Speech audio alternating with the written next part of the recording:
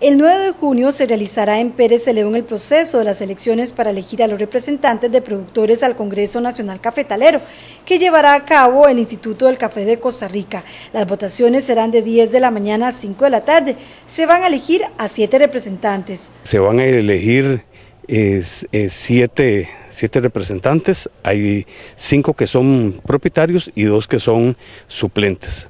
También se elige los representantes eh, de la terna a junta directiva eh, y los que van a, formar parte en, los, el próximo, los próximos dos periodos. Son ocho centros de votación. En la, en la escuela de San Pedro, es, eh, en el centro va a haber uno, en la, en la, escuela también de Cajón, en el centro, en el Carmen, va a haber otro, en Rivas, en la la escuela del centro también va a ser eh, el tercero. Tenemos en la escuela de, San Ramón Sur, que sería el cuarto.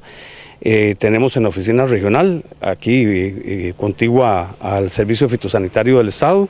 Tenemos en Daniel Flores, en la Escuela de los Reyes.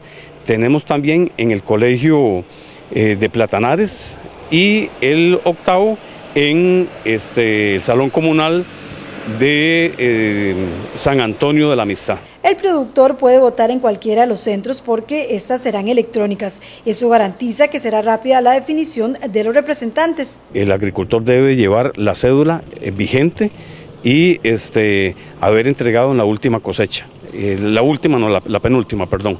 Este, ahí se va a hacer la consulta en, el, en, el, en la nómina del ICAFE y si está en, esa nómina eh, va, a ser, va a poder votar. ¿Y la terna y los delegados son? Eh, la terna, en el caso de Pérez de León, está constituida por don Román Chacón, por Pedro López y por don Omar Valverde. Esa es la, única terna que hay y ellos son de donde saldrán el representante de Junta Directiva.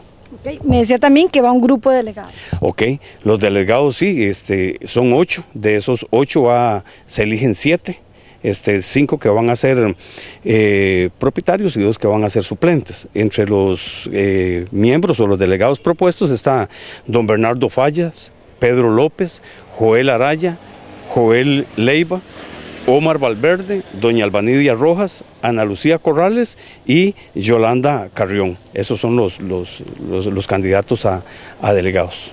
Este proceso se lleva a cabo cada dos años.